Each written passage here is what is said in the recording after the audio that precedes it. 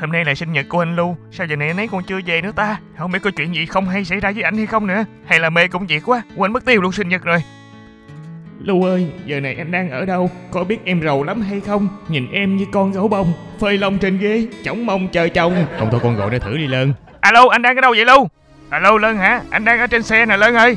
Sao giờ này anh còn chưa về nữa? Anh đi đâu vậy Lưu? Trời ơi, em nói nhỏ nhỏ thôi. Anh đang bị bắt cóc. Trời ơi, anh nói thiệt hả luôn Tới người ta, chồng tôi bị bắt cóc kìa. Trời ơi, trời ơi, em có khùng không vậy Lân? Anh kêu em nói chuyện nhỏ thôi. Không thôi anh bị phát hiện bây giờ. Vậy chứ anh đang núp ở đâu mà sợ người ta phát hiện hả anh Lưu? Trời ơi anh đang núp ở ghế sau nè Lúc nó bắt cóc nó liền anh ở ghế trước á Cái bây giờ anh trốn ở ghế sau nè Anh trốn ở đó con mình em không tìm ra chứ mấy thằng kia Chúng nó cũng tìm ra anh mà thôi à. Anh trốn độc quá. Trời ơi, chứ bây giờ anh trốn đâu được nữa lên Phải chi cái gầm xe này được làm bằng đất. Anh cũng gắn đạo, anh chui xuống luôn cho em coi. Ủa vậy là anh đang bị hút trên xe hơi hả anh luôn Trời ơi, chồng tôi bị hút trên xe hơi rồi trời ơi. Chứ nãy giờ em tưởng đó anh đang ngồi trên xe chở heo hả Lân?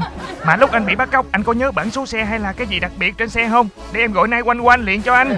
Trời đất ơi, biển số xe thì anh không có nhớ. Nhưng mà kết cấu xe này thì anh nhớ rõ chứ lắm. Vậy thì tốt quá rồi anh luôn Mà sao anh nhớ rõ được hay vậy? Thấy nó đẹp quá, anh mới nhảy lên xe nên mới bị bắt cóc luôn nè Lân Đáng cái đời.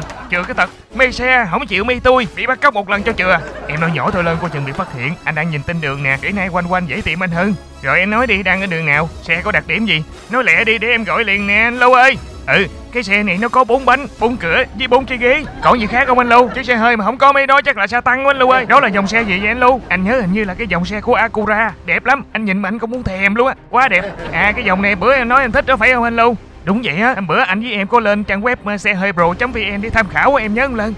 Đúng là cái dòng acura ở xe hơi pro vn rất là đẹp. Thì đến bây giờ mới hiểu tại sao anh bị bắt cóc rồi anh lưu.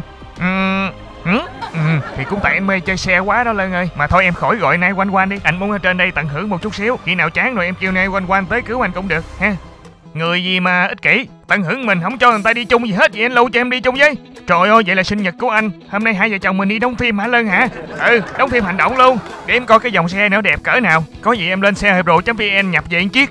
Ừ, anh đang ngó đường nè, em đợi anh một chút. Ừ, anh ngó rồi, chiếc xe còn sẵn không? Kêu anh bắt cóc, đổ luôn đi nghe. Chứ em tới mất công lập chập nữa. Thôi bó tay, vợ tôi nó còn mê xe hơi hơn tôi nữa.